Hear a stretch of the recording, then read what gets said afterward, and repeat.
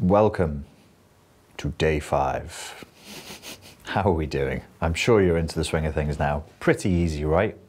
Pretty easy, not too stressful, and uh, I imagine that you'll be experiencing by day five uh, pretty high return on investment. So even though it's not a huge amount of time, even though you're not really doing that much, it's only you know a small portion of your day time-wise, you should be feeling significantly better, clearer, um, in a better mood, more cheerful, uh, and just clearer mentally than you would be normally, I hope.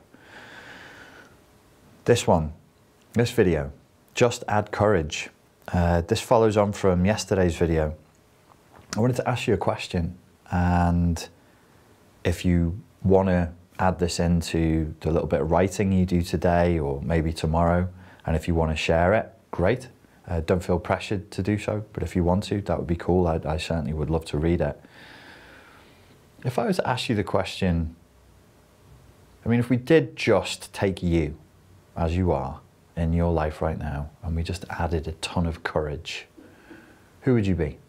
So the question that you would ask yourself would be, who would I be if I was more courageous? You took you, your problems, your goals, your ambitions, your fears, whatever, and you just added more courage to every element of your life, to every element of your personality, your relationships. What would happen? What would that look like? Who would you be if you were more courageous? How would you live if you were more courageous? Not the most courageous, not like a crazy Achilles hero archetype, just a bit more courageous, who would you be? What would you be doing? And when you've had the time to think about that and look at that, can you see the role that courage plays in your life or could play in your life to be more daring, to be more courageous? What would that do for you? And then, maybe as a final thought, if you're going to write it out, who is encouraging you to be more courageous? Where in culture, where in society are we encouraged to be courageous? We're encouraged to be many things.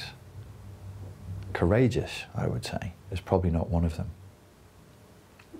That's it for today. Thank you very much for your time and for your attention, and I look forward to speaking to you again tomorrow. Cheers.